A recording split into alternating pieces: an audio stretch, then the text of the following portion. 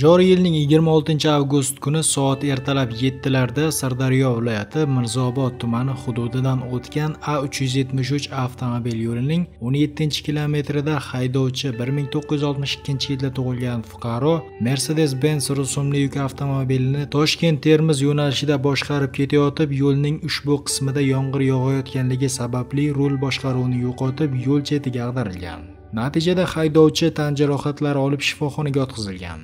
Mazkur holat yuzasidan Mirzaobod tumani Ichki ishlar boshqarmasi yo'l harakati xavfsizligi boshqarmasi tomonidan surishtiruv ishlari olib borilmoqda.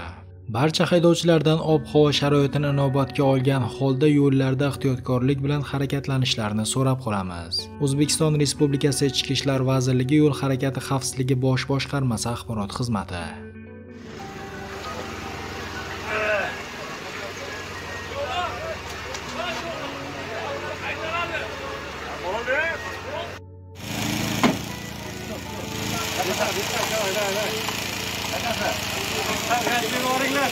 साल gas भी आ रही है गैस में भी आ रही कंबार है।